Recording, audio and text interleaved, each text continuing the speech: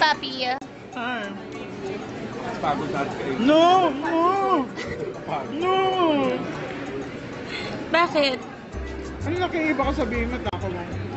Warm. Grabe, naubo. Nagpawisan ka ba? Niya ako.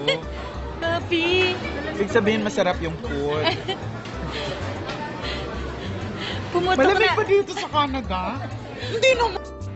May tatlong bibe akong nakita.